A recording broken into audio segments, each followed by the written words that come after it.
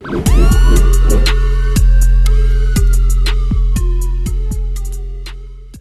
guys, balik lagi ke channel gue Rizky Alfian. Uh, di sini saya akan melakukan sebuah eksperimen untuk eksperimen yang pertama.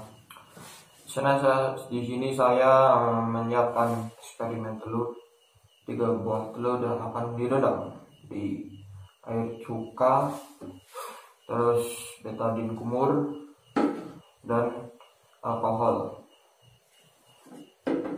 Oke langsung saja kita pertama siapkan terlebih dahulu gelas plastik?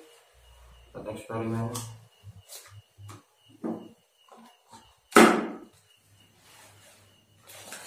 Oh pecah. Kirain pecah guys. Terus gelas kecil buat menakar buat menakar air cuka alkohol dan betadin untuk gelas yang pertama kita isi dengan betadin obat kumur. Jadi kita akan melakukan eksperimen itu selama kita akan meredam telur tiga telur ini selama tiga hari eh tiga hari. Satu hari aja satu hari biar nggak kelamaan nanti kita lihat hasilnya seperti apa. Yang pertama kita kita dikumpul terlebih dahulu. Terus tiga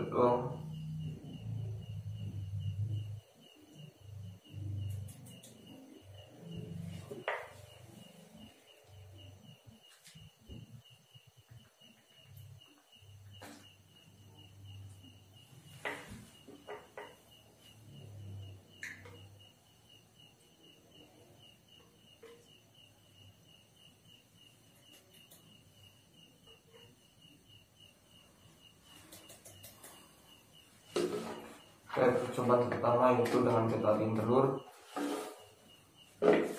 Percobaan kedua dengan cuka apel. Air cuka. Kita lihat apakah yang terjadi.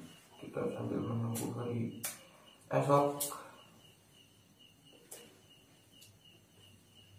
Apakah ada telur yang berubah? atau tidak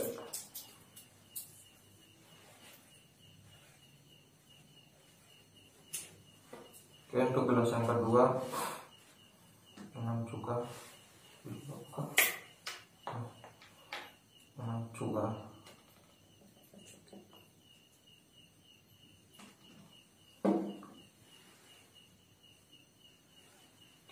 ya untuk gelas yang ketiga kita gunakan alkohol dan air cuka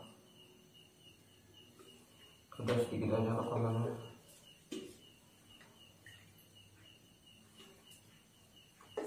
air alkohol 70% dan cuka aja.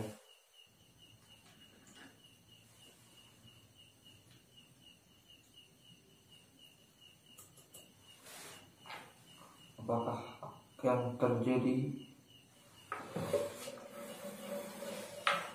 Kita saksikan bersama-sama sampai besok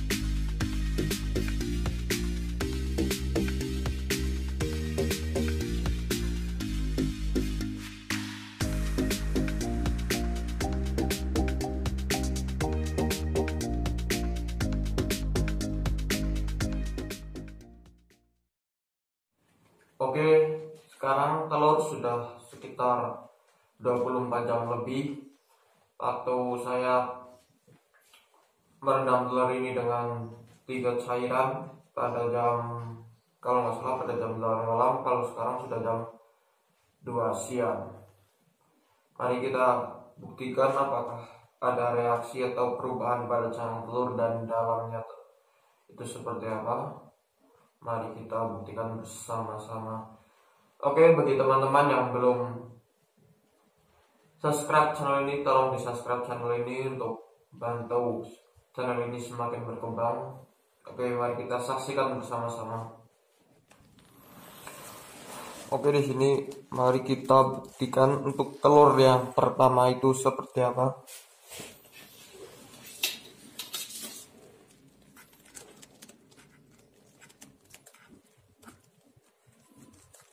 Tampaknya untuk telur yang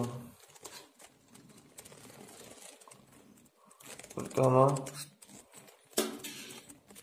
tidak ada perubahan apa pun.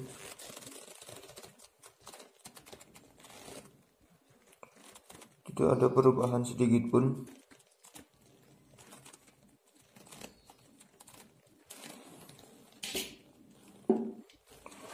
Untuk telur yang direndam dengan air cuka,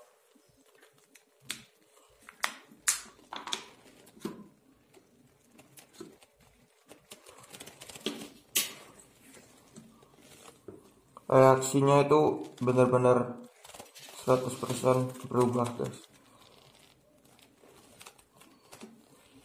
Ini kan cangkangnya keras. Tuh keras. Kalau ini telur yang direndam dengan air cuka jadi lembek.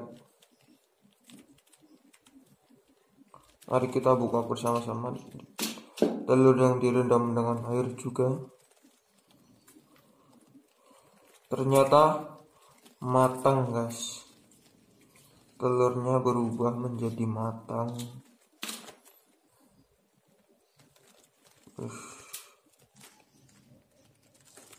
Telur yang direndam dengan air cuki ini berubah menjadi matang guys. Seperti telur pada lainnya. Telurnya itu menjadi matang guys untuk cairan yang ketiga telur dengan uh, air cuka dan dicampur dengan alkohol. Sama agak lunak guys tapi enggak ter seperti telur yang pada pertama. Dalamnya itu masih biasa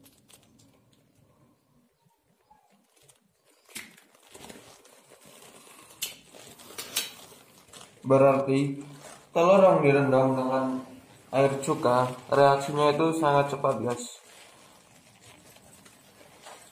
Seperti nggak seperti cairan-cairan yang lain. Ini adalah telur yang direndam dengan air cuka murni jadinya seperti ini. Seperti ini, jadi ya matang guys. Telur dalamannya tuh bisa menjadi matang. Benar-benar kayak telur direbus kalau ini menurut saya karena ini obat betadin kumur buat tenggorokan, buat nggak ada reaksinya. Tapi kalau direndam dengan air cuka dan cuma sedikit doang reaksinya guys.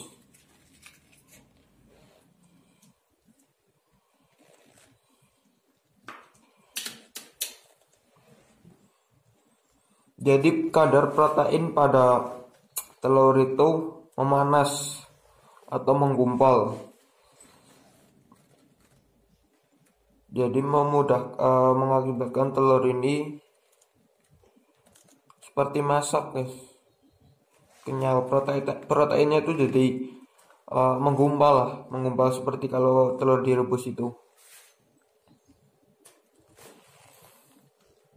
Itu dia teman-teman uh, uji coba kita pada eksperimen yang pertama saksikan terus eksperimen-eksperimen yang lebih pastinya lebih seru di channel YouTube saya ini dan bisa menambah manfaat dan pengalaman untuk teman-teman. Sekian terima kasih untuk videonya. Jika teman-teman suka terhadap video ini dan bermanfaat, jangan lupa like, comment, subscribe, dan share ke teman-teman kalian. Bantu channel ini untuk semakin berkembang dan bisa upload video-video yang bermanfaat buat teman-teman. Oke, okay, see you next time guys. Terima kasih.